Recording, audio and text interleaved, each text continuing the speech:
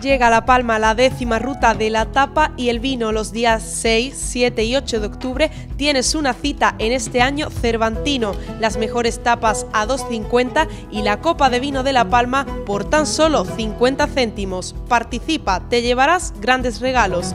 Vive, disfruta, siente, saborea La Palma.